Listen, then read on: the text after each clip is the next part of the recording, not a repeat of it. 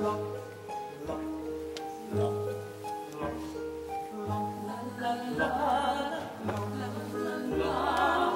have seen it in New York, and, and I have to tell you, this cast was amazing, absolutely amazing. The whole concept was, was great. It was really great.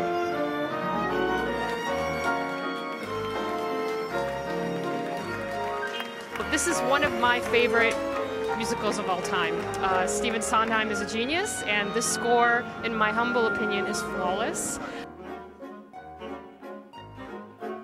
The performances were stunning. I mean, it's a Sondheim musical. It's amazing as always. And the score is gorgeous. So we had a really good time. Yeah, and funny. So funny.